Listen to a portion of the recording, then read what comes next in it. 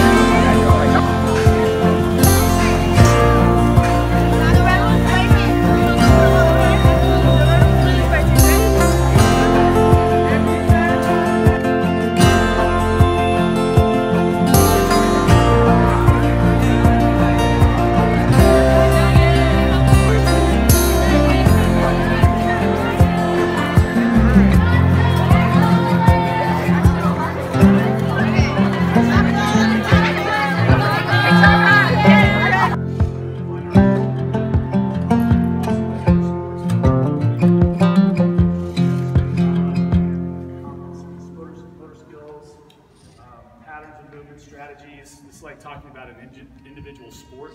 Usually it's a little bit of both. They do a little bit of suiting up, and they don't run the miles, and then they're really digging a hole.